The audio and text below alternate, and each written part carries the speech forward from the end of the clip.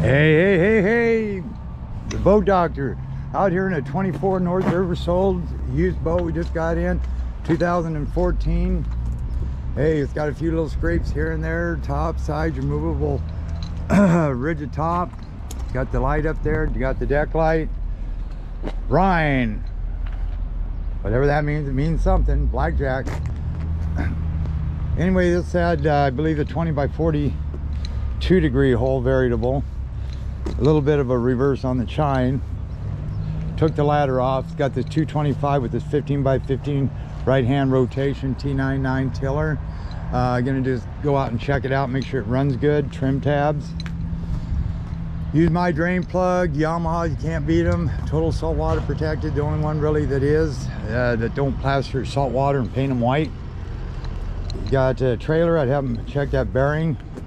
Looks like there's a little grease coming off that back port rear.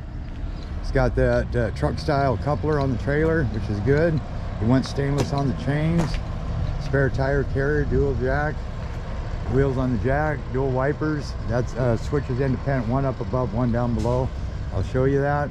Okay, so pretty base. Dual batteries, lots of room, made for charter, going out fishing. Spray them seats down with Corrosion X. Got the Yamaha attack in it, DEC controls. So we're gonna take it for a spin.